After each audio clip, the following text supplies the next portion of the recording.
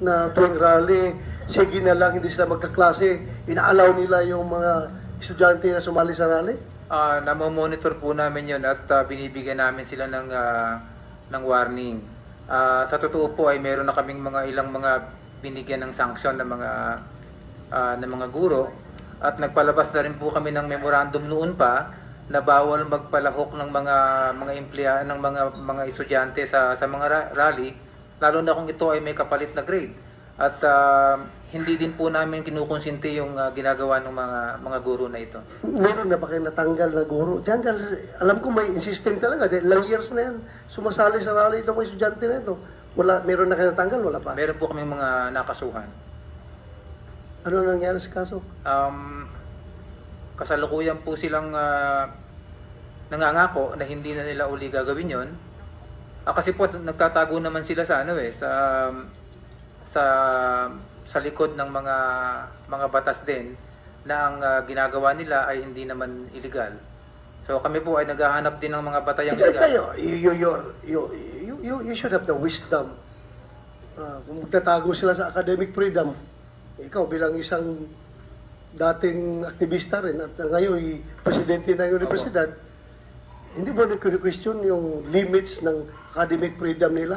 Yung pag-allow ng mga estudyante, cancel nila yung klase para lang makapag-attend sa rally? Eh, hindi pa, hindi ka ba nag-question yan? Personal ko pong kino-question yun. Hindi ko po yung ginagawa.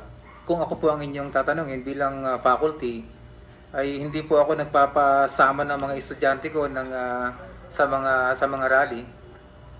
Um, yun po ang aking personal na, na pananaw. na alam niyo, ad- proper administrative sanction, uh, strict uh, sanction should be uh, meted Opo. out to these uh, teachers. Within Ako, the, ha, within sa- the bounds of the law po. Oh, within the bounds of the law. Within the bounds of the law. Pero kung palagi lang ginagawa, every year na lang, every suna, nagka-cancel sila ng kasi, hanggang ngayon, nandiyan pa rin sila. Eh. Ano, sige lang kayo warning, walang natatanggal. Ilang suna na ba na napupuno ng estudyante ng PUP yung kalsada? Walang ma- maraming klase na kinakancel. Eh, dapat meron nang natanggal na teacher dyan. Kung gano'ng katagal.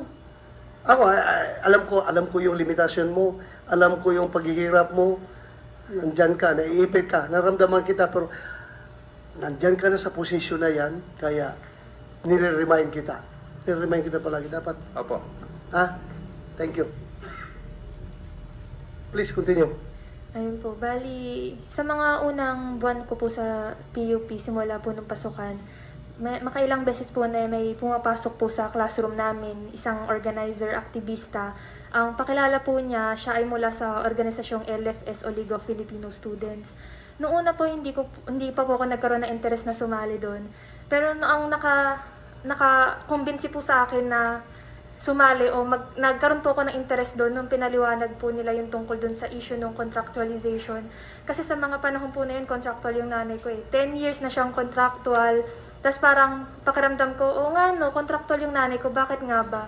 Tapos ah, nakita po nung organizer na, na parang may interest akong sumali o magtanong. Kaya po ang ginawa niya, kinulit po niya ako ng kinulit para hindi man muna sumali, mabigyan niya muna ng pag-aaral, mga edu- mga discussion para daw po mas malinawan ako kung ano yung tungkol dun sa contractualization.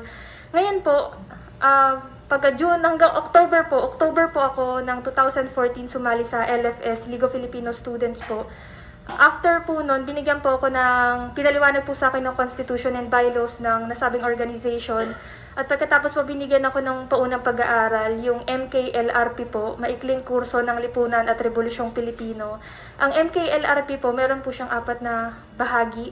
Yung unang bahagi po, yung mayaman ng Pilipinas, ngunit naghihirap ang sambayan ng Pilipino. Pangalawa po, ay ang kasaysayan ng Pilipinas, kasaysayan ng tunggalian daw ng mga uri. Pangatlo, yung tatlong ugat po ng kahirapan, imperialismo, feudalismo at burokrata kapitalismo. At yung pang-apat po, sa lahat ng problema daw po ng sambayan ng Pilipino, ang tanging makakasagot lang, ang solusyon lamang ay ang digmang bayan. Digmang bayan, ibig sabihin po, ang armadong pakikibaka, ang mga mamamayan daw po mismo ang kinakailangang mag-armas, tapatan ang dahas daw di umano ng Estado, barel laban sa barel. Tapos po, Ah, nung nagtatanong na po ako sa kanila tungkol sa NPA, nasabi nila sa akin, ang LFS hindi natin sinusuportahan ng NPA. Pero kinikilala, kinikilala natin ang kasaysayan ng armadong pakikibaka ng mga mamamayan simula pa noong unang panahon, simula pa noong panahon ni Andres Bonifacio.